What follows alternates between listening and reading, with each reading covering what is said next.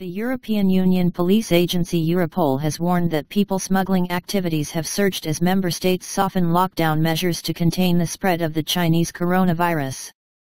Europol stated that the spread of the coronavirus had led to a decline in new arrivals of illegal immigrants and people smuggling, but noted the relaxation of travel restrictions in Europe was coinciding with a new wave of smuggling activity. Small boats are increasingly used to cross river borders. Migrants are also smuggled in, hidden in freight vehicles and freight trains that still cross borders, the agency said, Ouest France reports.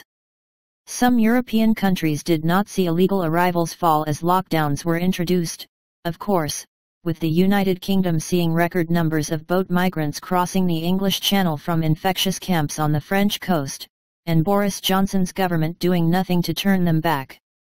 Europol also said that agriculture could be affected by the travel restrictions as seasonal migrant workers would find it more difficult to enter European countries, suggesting this would drive up demand for illegal migrant workers.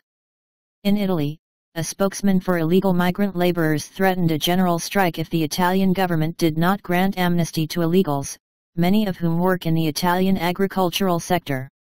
He was met with criticism by populist Senator Matteo Salvini, who said, the problem is that if we continue to regularize irregular immigrants we have slaves. I don't want people to go to work in the fields for 3 euros an hour and the mass amnesty brings more exploitation. Italy has also seen a new surge in migrant arrivals in recent weeks via the Mediterranean Sea, with migrants landing on the island of Lampedusa and in Sicily.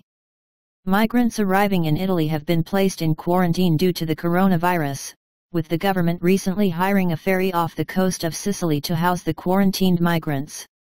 A recent report revealed that Italian taxpayers were paying 4,000 euros a month per quarantined migrant.